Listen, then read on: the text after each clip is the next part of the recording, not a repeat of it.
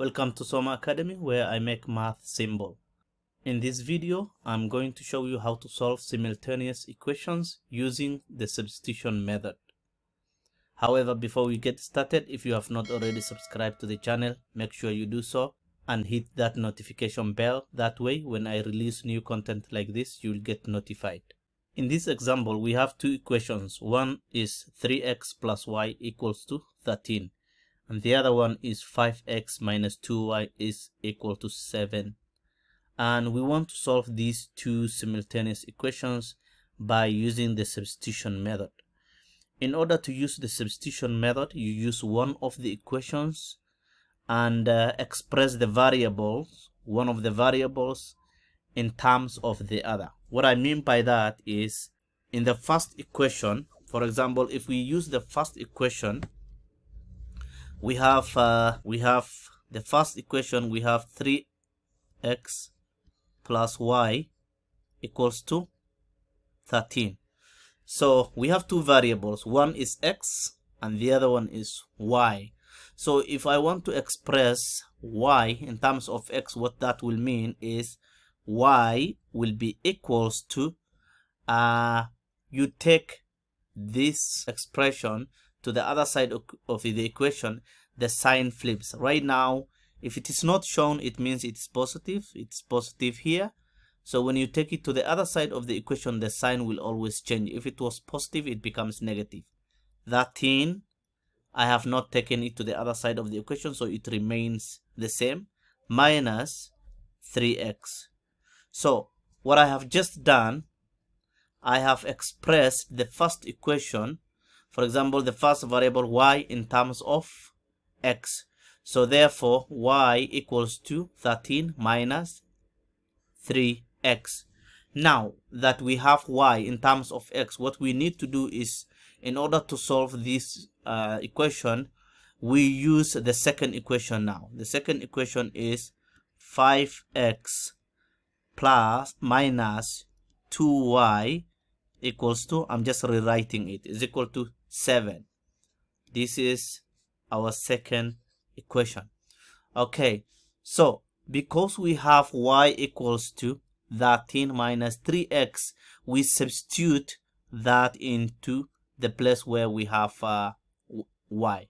Okay so for every instance of y 5x minus 2 times instead of y we put 3 13 minus 3x okay let me repeat one more time. This is equal to 7 before I even solve this further and simplify what I'm saying is that you first express one of the variables in this case y uh, in terms of the other. So I'm saying y equals to 13 minus 3x that is the first.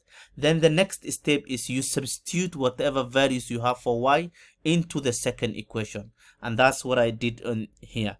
5x minus 2, but instead of y, I'm putting 13 minus 3x. That is equal to 7. So, let me simplify this further. This is 5x minus 2 times 13 that is 26 okay?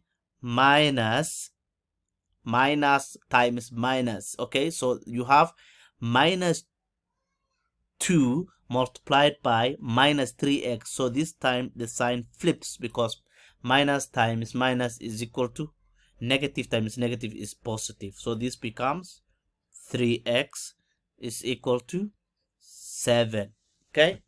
So now we collect like terms together. Let me do it in here.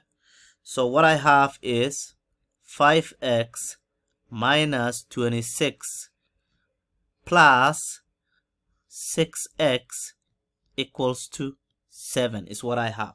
Now collect like terms together. So we have 6x here and 5x here. Both of them are positive. So you add them.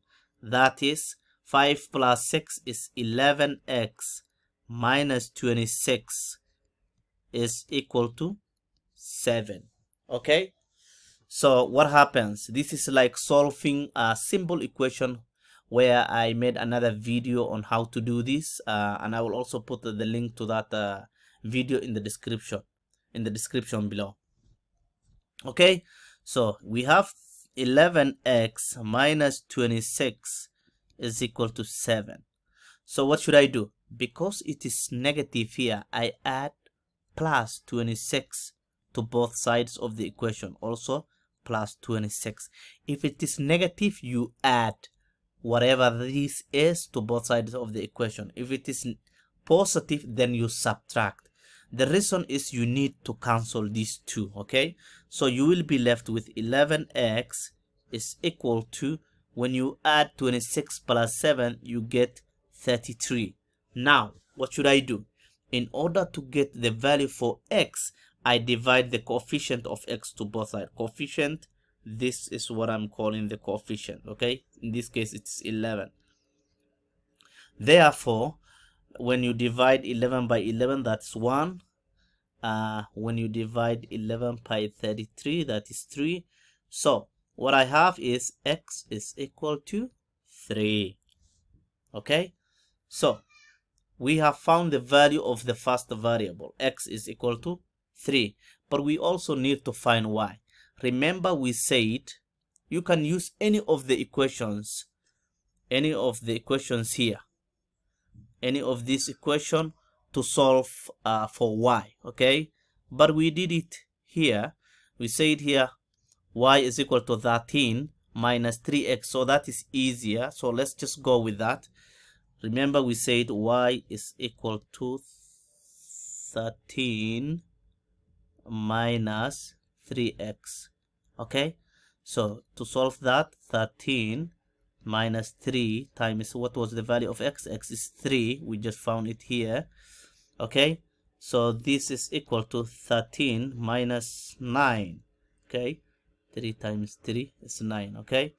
So 13 minus 9 is what that is 4 so the value of y is 4 in these two simultaneous equations x is 3 y is 4 and that is how you solve simultaneous equations I hope this was helpful. I will stop it there for today. Please do not forget to subscribe.